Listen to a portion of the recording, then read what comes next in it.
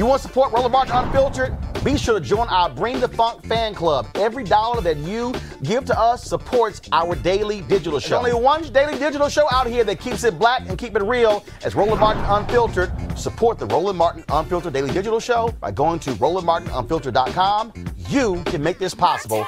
Well, Kentucky Senator Rand Paul finally speaks out about the controversial shooting of former Louisville EMT Breonna Taylor, who was shot and killed by police during a no knock search warrant that experts have heavily criticized. That took place, of course, in the month of March.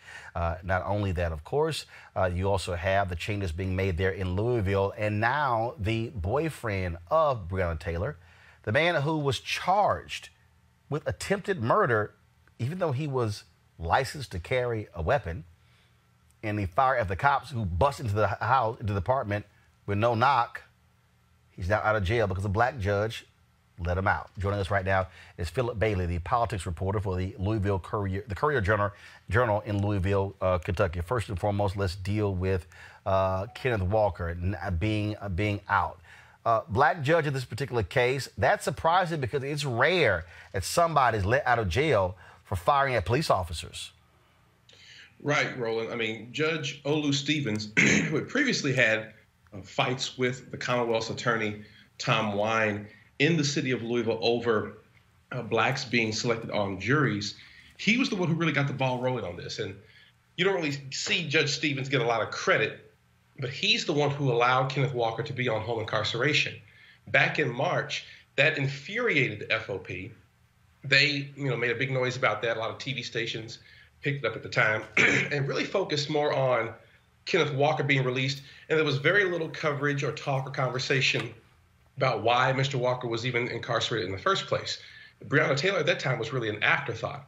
I remember getting uh, into a conversation with a local council member here in Louisville and bringing that very issue up, which is that the story wasn't about the officer being shot and Kenneth Walker being released on home incarceration. It was this accusation that the police had barged in without announcing themselves and had shot this woman to ribbons, even though there were no drugs found uh, in her apartment as a part of that drug case. So certainly Judge Olu Stevens uh, has been maybe a forgotten character in this, but he has a history of clashing and standing up to both prosecutors and police in these past cases. Uh, what has been the reaction from the Louisville Police Union or the police department? Thus far, the police union, I think, has been relatively quiet since this story has become a national story. They were certainly much more uh, vocal and talkative when the issue was Kenneth Walker being released on home incarceration. Thus far, you know, Chief Conrad hasn't said that much. He is supposed to testify before our city council tomorrow at the Public Safety Committee hearing about, you know, the, the shooting and use of no-knock warnings or uh, warrants. Mayor Greg Fisher has made certain changes, announced certain policy changes, saying that oh, the police chief will have to sign off directly on no-knock warrants. But uh, Roland, today we had a, a story out about Chief Conrad and the series of scandals he's faced. And the question that many council members who want him fired are asking is, why weren't these policies in place beforehand? Why did Breonna Taylor have to die in, for, in order for the, the mayor to say the police chief must look at and sign off on these orders before uh, seeking a no-knock search warrant with a judge? And, and there's also that's a question too. Judge Mary Shaw, who has been the judge who signed that no-knock warrant, questions are now coming to her why she signed it with such a boilerplate search warrant language being put in there by narcotics detectives. So everyone is really uh, on their heels here in Louisville, Roland, as far as this shooting is concerned. Uh, let's talk about uh, Senator Rand Paul now speaking out uh, on this. There are two there are two U.S. senators there in Kentucky, Senator Rand Paul, Senator Mitch McConnell. Um, what did Rand, Senator Rand Paul say, and have we heard anything from Mitch McConnell? I've been pestering uh, Senator Rand Paul's office over the weekend about what they have to say about the Breonna Taylor case. Senator Paul, as you know, Roland, is certainly someone who's outspoken about libertarian issues, whether it's the Patriot Act, FISA court, et cetera. And my question to them was, well, what about this case here of the police uh, with very little information about Breonna Taylor, uh, other than seeing one drug suspect leave her apartment two or three months ago? They came out with a statement exclusively to the Courier Journal where uh, Senator Paul says that no knock warrants should be forbidden. Uh, which was certainly some strong language from him. His office also points out that, look, in the past, Senator Paul has spoken out about militarization of local police. Uh, certainly, there are those asking, why don't we see more Fourth Amendment advocates, more Second Amendment advocates, especially here in a state like Kentucky, Roland, uh, speaking out about both Breonna Taylor and her boyfriend, uh, Kenneth Walker. Senator Mitch McConnell, Senate Majority Leader Mitch McConnell, last week did address a very short statement saying that he hopes this investigation, uh, a thorough investigation, is conducted, sharing his condolences. Uh, one of the only public officials who really spoke to the issue of race in this shooting was Congressman John Yarmuth, a Democrat out of Louisville, who is the Budget Committee Chairman. Well, it's quite interesting uh, to see the folks uh, who have not speaking out. Yesterday, again, I had the mayor on. He talked about the changes they have implemented. How have those, those been received in the community? Well, right now, there are some who say it's a bit of window dressing. As I said before, there are members of Metro Council who are asking why weren't these uh, policies put in place beforehand, right? I mean, no knock warrants in the mix with stand your ground, castle doctrine laws, according to experts we've talked to, are just a recipe for disaster. You're basically pitting law enforcement against civilians, and one of those two things has to be rectified. There's a question now of why wasn't the SWAT team used or deployed uh, in this situation? They have a higher standard for deploying SWAT than they do these individual detectives. Uh, when you look at the warrant, again, Roland, when you look at the warrant in this investigation, Breonna Taylor is never mentioned doing anything in the warrant. The only reason her name comes up is because this suspected drug dealer goes to her apartment and picks up some mail and leaves, and her car is seen outside of his home at one point.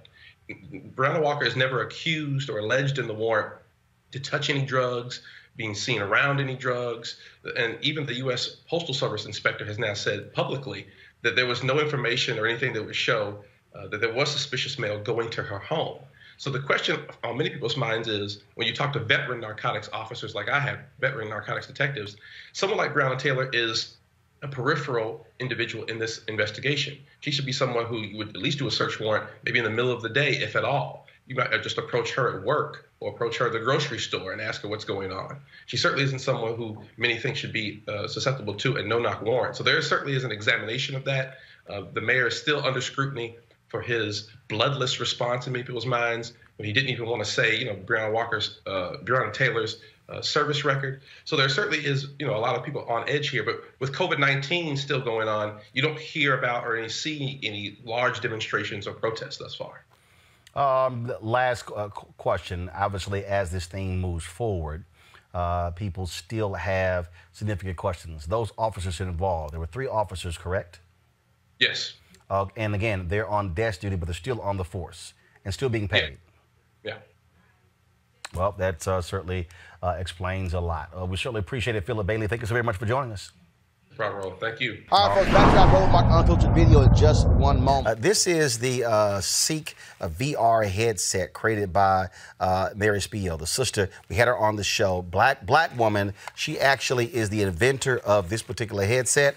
And so what happens is you just simply place your phone right into uh, right into here, and then of course close it up, and then go to their website and then their app, and you can actually experience experience uh, the comedy showcase. And so uh, they have these headsets, these uh, VR headsets, on their site ceek.com uh, for sale. Uh, then also they have these 4D 360 degree headphones. First of all, I love the two stuff because they're in black and old gold, uh, my frat colors. Uh, but these are awesome uh, because uh, for gamers, uh, it comes with it comes with attachable, uh, detachable headset, and again, folks, it gives you 360 degree sound amazing sound. If you want to buy these, you have a promo code you can use. This is just for our followers, uh, and it is RMVIP2020.